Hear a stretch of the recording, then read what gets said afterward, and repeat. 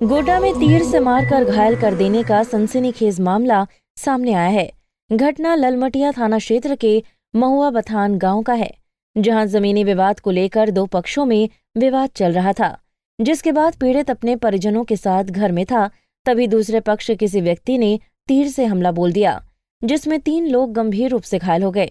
वहीं घटना की सूचना मिलते ही आसपास के लोगों में हड़कम मच गया और आरोपी मौके से फरार हो गया। वहीं सूचना मिलने पर मौके पर पहुँची पुलिस ने घायलों को इलाज के लिए अस्पताल में भर्ती करा दिया है।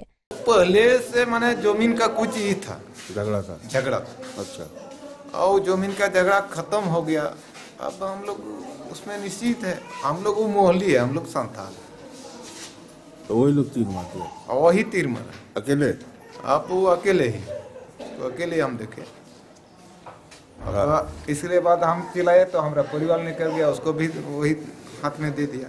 इसके बाद हम लोग घर में सब चिल्ला दिए तो गाँव वाला आने लगा तो उसको यही छाती में फ़िलहाल पुलिस ने मामला दर्ज कर लिया है और आरोपी की तलाश कर रही है। आपको बता दें कि घायलों की हालत गंभीर बनी हुई है और उन्हें इलाज के लिए धनबाद पीएमसीएच में भर्ती करा दिया गया है। देखना होगा पुलिस आरोपी को कब तक गिरफ़्तार कर लेती है। पंजाब केसरी टीवी के लिए गोड्डा से वीरेंद्र मिश्रा की रिपोर्ट।